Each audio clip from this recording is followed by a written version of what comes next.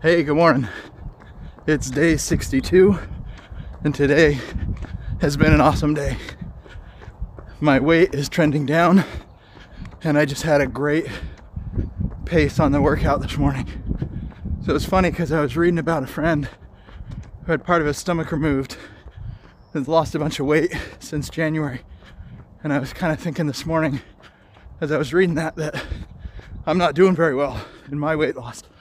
But the reality is is that I'm down like four pounds in the last couple weeks, which feels awesome.